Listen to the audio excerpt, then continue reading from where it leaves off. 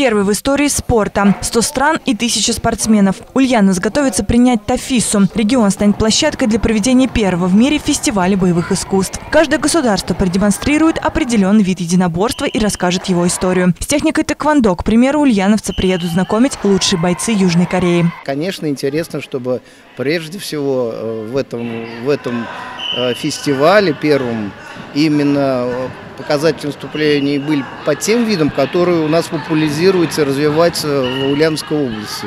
Вот это, я считаю, самой главной задачей. Тафиса – это грандиозное шоу, показательные выступления, мастер-классы, тесное знакомство с культурой боевого искусства и пропаганда здорового образа жизни. Накануне состоялся первый оргкомитет фестиваля с участием генерального секретаря Международной ассоциации «Спорт для всех» Вольфанга Баумана. Иностранный гость успел познакомиться с основными спортплощадками региона и пообщаться с будущими и нынешними звездами спорта. Ульяновск – та площадка, которая может успешно провести фестиваль боевых искусств не только потому, что у нее есть техническая база. В Ульяновске богатая спортивная история. Прельщает и то, что помимо крытых спорткомплексов есть открытые площадки, куда можно привлечь всех людей, показать им философию и ценность боевых искусств.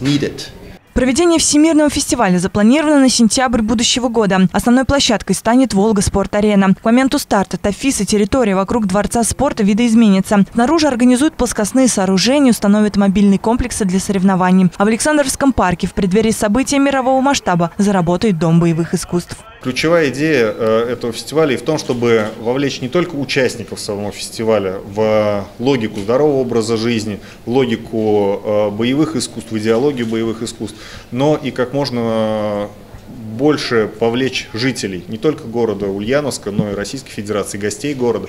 Поэтому мероприятия будут проходить на различных площадках. Помимо обширной спортивной программы, в Ульяновске проработают особый маршрут для большого потока туристов. Особую программу подготовят культурно-исторические центры региона. Область, а вместе с ней весь мир на пять дней окунется в атмосферу Тафисы. Рената Алиулова, Руслан Баталов. Новости Ульяновской правды.